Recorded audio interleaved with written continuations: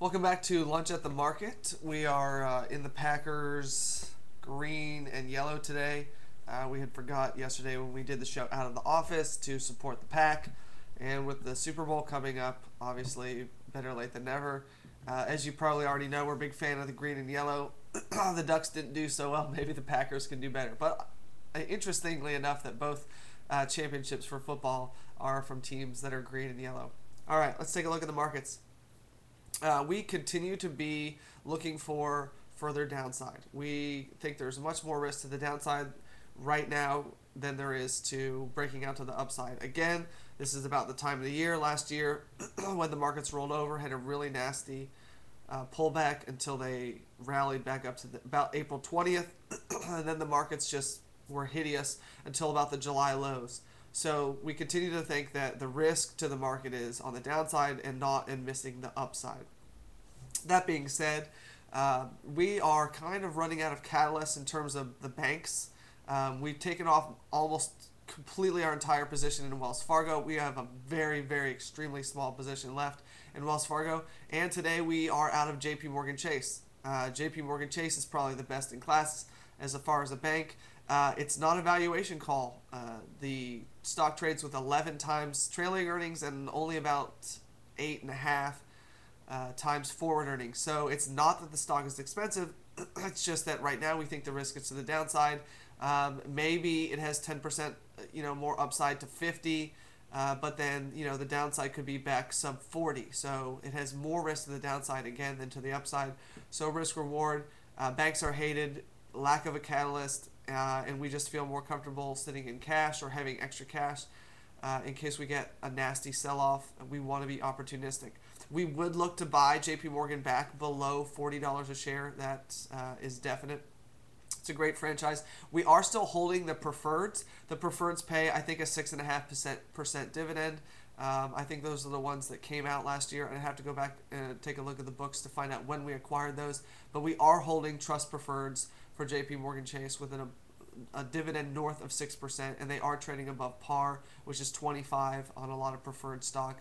Um, so we'll, we'll hold tight there because we've got dividend, obviously, uh, which we don't have in the common stock. And should the banks not instituted, there's just too many risks to the downside in terms of banks and not enough, um, you know, risk to hold them. We are still long plenty of Bank of America. Again, most of our Bank of America is either common stock or January 2012, 12 and a half calls, which we A, have plenty of time, and B, we're in the money still uh, by quite a bit. So we'll hold those. Those are our preferred ways to play Bank of America. Um, we do have a few put spreads, very small position in put spreads in Bank of America. We'll see how that goes. Um, there just wasn't enough premium to stay in Bank of America, or sorry, J.P. Morgan Chase and sell put spreads against it because the volatility just isn't there.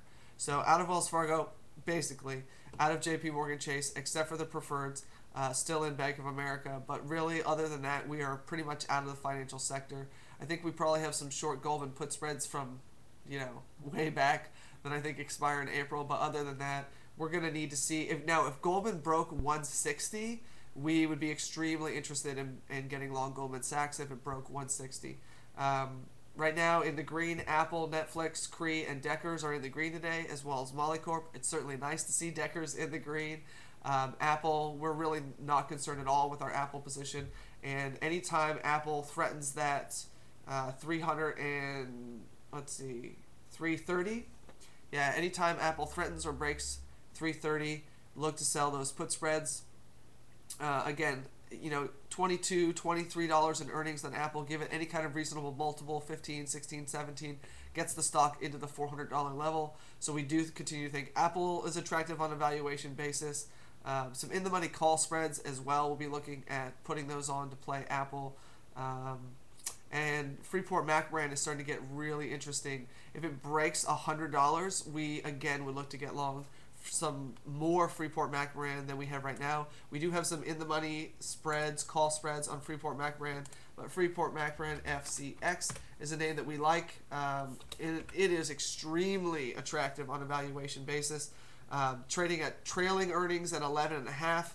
Um, a market multiple would would put the stock at least at a 14 or 15, and again their forward PE is 8.4. So, on a valuation basis, Freeport McMoran FCX we feel long shorting put spreads, getting long stock, in you know, long call spreads, pretty much anything you could take to the bullish side on Freeport McMoran. Not to say that it can't or won't go down at some period or during periods, but it's an extremely well-run company. They do have exposure to both copper and gold. Uh, they're probably you know the best well-known copper name in the business. It's extremely cheap on a valuation basis. FCX. Um, we, I think we're short some 99, 94 put spreads in Freeport McMoran. If it breaks uh, 100, um, obviously we'll see what, how we feel about the short put spreads, but we would add to the long side. We would actually look at getting long common stock or in the money calls. I think your 70 strike calls, if it breaks 100, are probably pretty attractive. And again, we would look to June, July, or September, possibly even uh, January of 2012. At that point, we'd probably do a call spread risk reversal. So we'd be long a call spread and then say short uh, short the 60 put, long the 70, 90 put spread, something like that. So we'll take a look at it if it gets there, but just keep FCX on your radar in case it breaks 100. I think that's a place you want to get long. Chesapeake is down today about 3%, but uh, again, we took a look at the options and there really wasn't any opportunity. Um, in the options, the stock probably has to move more than that. If Freeport, or sorry, if Chesapeake gets below 25, then that's a, a level that we like in terms of CHK. Uh, okay, and then Amazon. We are. Let me get out. Uh, get out my structure on Amazon. We are long 175 puts. Right. Thursday they report, and most of the high beta names have gotten absolutely whacked uh, on earnings. Take F5, Cree. Uh, I think Apple dropped 13 bucks or something. Uh, Sales, Salesforce.com is down just on F5's earnings. So a lot of the high beta stuff is pretty ugly. We are long a 170, 175 put. Then we have twice we have sold twice the amount of 175 puts. We've sold the 160 puts, right? So we've got. Let me see if I can do this. Uh, we're we're long 175 and then short double the amount of 160 puts, and then we're long the 140 puts. So in effect, what you have is uh, long long put spread and short put spread. That's basically what you have. So you have uh, two two of these, the 160s that were short. So that makes this a short put spread. We're long at 140, uh, short at 160, short at 160, long at 175. Okay, see how that works? So basically, what you want is for Amazon to drop somewhere between 175 and 160. That's the ideal profitability. Just above 160 would be absolutely terrific you get to capture all the money in the short put spread. You get to capture most of the money in the long 175, 170 put spread. This is from Mike Khouw on Options Action last Friday.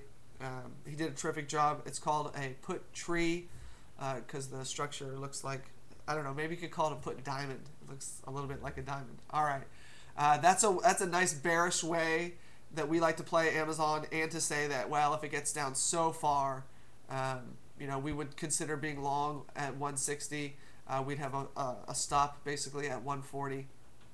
Okay, so that's uh, also you have the opportunity to roll that short put spread down and out. So anyway, there's all kinds of things that you can do with that uh, because the strikes are so wide. But long the 170, short double the amount of 160s, and then long again at 140. So make sure the amount of one long 175 140s match each other, and then uh, whatever that number, say it's one and one, then you do you'd sell two 160s. Say it's two and two, then you'd sell four 160s. Okay, so just keep that in mind. So let's say, for instance, you're long two 175s, you'd short four 160s, and then be long two 140s. Okay, so in, in effect, it gives you a long put spread all the way down, boom, and then you've got a short put spread from here. So that's the trade structure on Amazon. We like a nice bearish bet on Amazon because, again, the high flyers have been slapped around a little bit on earnings. They report on Thursday. I'm sure the, you know, the market is expecting perfection, and it probably won't get it. Thanks for tuning in again today. Hope that helps. Again, the theme uh, for us this month has been to continue to take risk off the table and get smaller and look for opportunities. You may be getting them. All right. Thanks for uh, tuning in again today. Have a great day, and we'll see you tomorrow.